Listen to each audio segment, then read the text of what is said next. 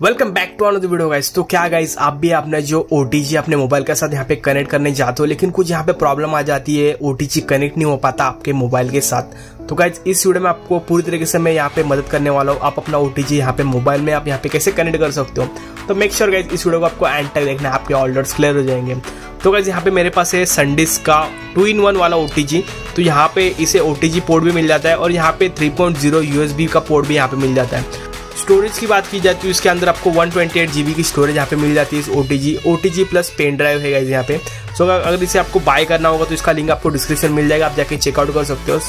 तो कैसे आपको यहाँ पे मैं लाइव दिखाने वाला हूँ यहाँ पे आप ओ टी जी कैसे यहाँ पे कनेक्ट कर सकते हो। तो मोबाइल यहाँ पे अनलॉक हो चुका है तो यहाँ पे मैं सिर्फ़ इंसर्ट करने वाला ओ टी जी अपने मोबाइल के अंदर। तो यहाँ पे कुछ इस तरह से आपको सिर्फ़ इंसर्ट कर देना है। तो गैस इंसर्ट करते आपको यहाँ पे देख सकते हो यहाँ पे एक नोटिफिकेशन आ गया है यूएसबी स्टोरेज एडेड करके। तो यहाँ पे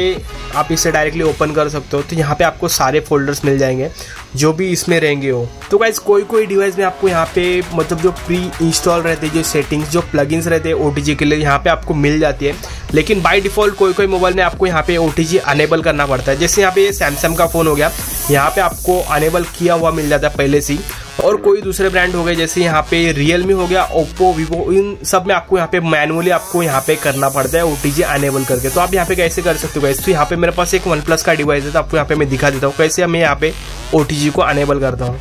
तो हम यहाँ पे कनेक्ट करने वाले हैं यहाँ पे वन प्लस के डिवाइस में गए यहाँ पे आप देख सकते हो इलेवन आर यहाँ पे मेरे पास है तो जैसे यहाँ पे मैं ओ टी प्लग इन करता हूँ अपने मोबाइल के अंदर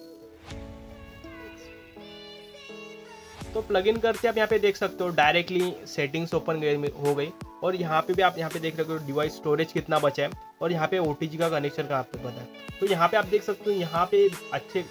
जो नए वाले डिवाइस में यहाँ पे आपको ऑटोमेटिकली ओ टी यहाँ पे मिल जाते हैं लेकिन आपके पास कोई पुराना मॉडल होगा या फिर कोई आपका सिक्योरिटी अपडेट नहीं होगा या फिर आपका मोबाइल किसी वजह से यहाँ पे अपडेट नहीं होगा तो आप यहाँ पे कैसे कर सकते हो तो बेसिकली आपको चले जाना है सेटिंग्स में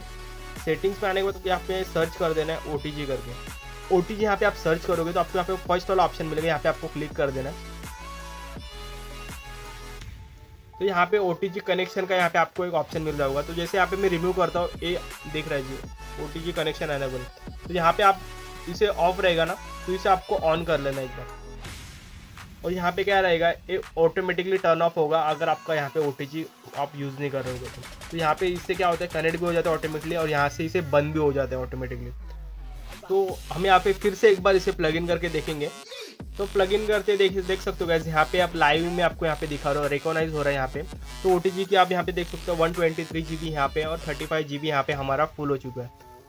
तो सेम सेटिंग आपको यहाँ पे सिर्फ़ फॉलो करना है तो आप भी अपना जो ओ टी जी यहाँ पे मोबाइल के साथ कनेक्ट कर पाओगे। तो मेक श्योर गैस अगर वीडियो अच्छी लगी हो तो इस वीडियो को लाइक कर देना चैनल को सब्सक्राइब कर देना, क्योंकि ऐसी इंटरेस्टिंग वीडियो आपको यहाँ पे मिलते रहेंगे। So take care